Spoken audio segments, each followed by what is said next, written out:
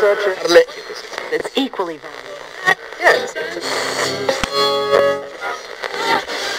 Devoción matutina para jóvenes. Está sintonizando Evangelike.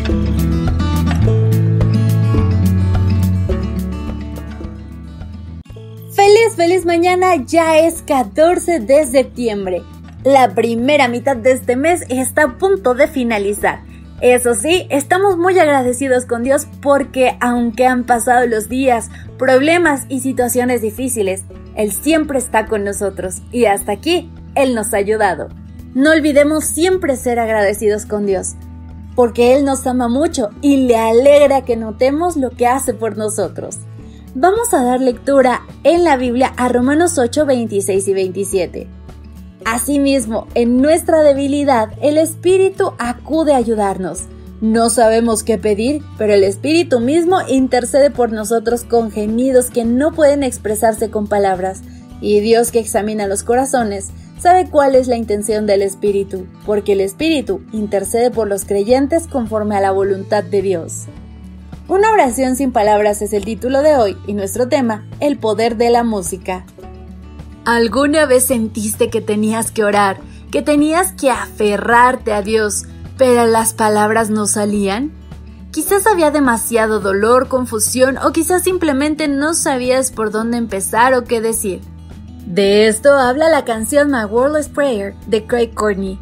Los versículos de hoy nos dan muchísima información que necesitamos y además son una promesa de ese consolador con el que pocas veces contamos.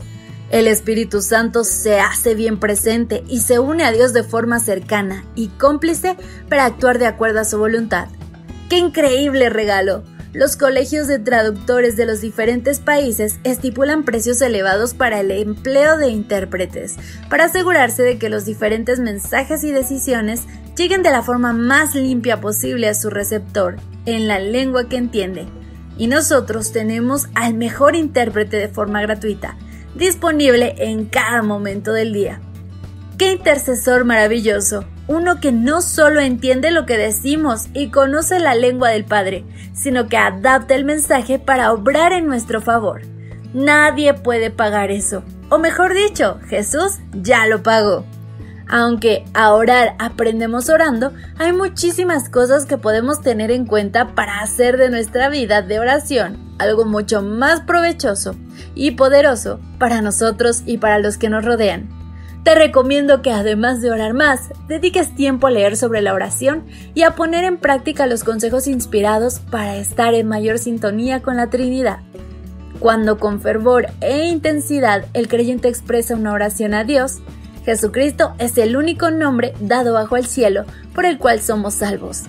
Hay en esa misma intensidad y fervor un voto de Dios que nos asegura que Él está por contestar nuestra oración mucho más abundantemente de lo que pedimos o entendemos. No solamente debemos orar en el nombre de Cristo, sino por la inspiración y motivación del Espíritu Santo. Las peticiones deben ofrecerse con fe ferviente, entonces llegarán al propiciatorio, persistamos incansablemente en la oración. Así finaliza nuestro mensaje de hoy, pero quiero insistir, la oración con palabras, sin palabras, de pie, de rodillas, acostados, parados, como sea. Si tu oración es sincera, Dios la escuchará y contestará a su debido tiempo. Confiemos en nuestro Dios, que está siempre al pendiente de nuestras necesidades y de todo lo que le decimos. Recuerda acudir a Él cada día, todos los días. Me despido por hoy y Dios te bendiga. Gracias por acompañarnos. Te esperamos mañana. Te recordamos que nos encontramos en redes sociales. Estamos en Facebook, Twitter e Instagram como Ministerio Evangelite. Y también puedes visitar nuestro sitio web www.evangelite.com.